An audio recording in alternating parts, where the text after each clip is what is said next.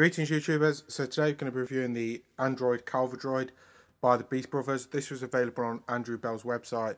Uh, it might still be available, I'm not sure. I know these didn't sell out as fast as previous ones, like the Chinese New Year one was it, and the Christmas one. so you might still get this. In the box also came an Android sticker that um, just very basic, just told you that these are collectible stickers. So this is basically exactly the same as the Blind Box series. except this one has a different packaging and a different design and it might be more limited. That's about it. So on the front, window display, Android, mini collectible special edition on the side, on the on the back, and then on the other side, and then on the bottom just all your warnings and all that rubbish. So let's get this open. it's gonna be quite a quick video and hopefully the quality on this is a lot better than the Joe Ledbetter figures that I reviewed a while ago. So, oh, that's the box, pull that to one side and here's the figure. So, very simple packaging. Goodbye. Okay guys, so here it is and first of all I did take the hat off and one of these white things snapped and it's kind of loose now.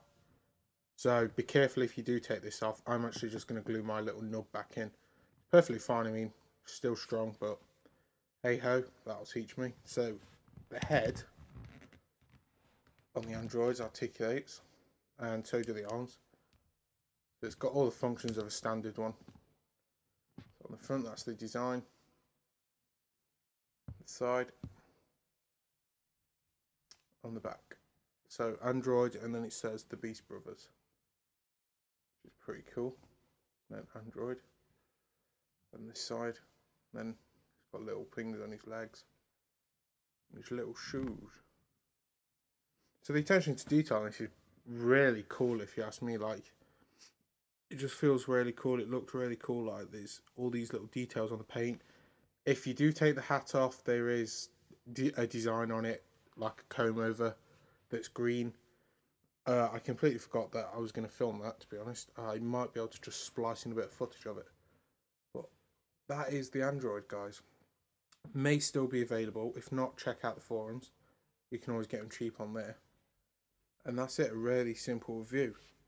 The quality on this is really good. As with all the Androids, as I've found, to be honest. Yeah, it looks really good.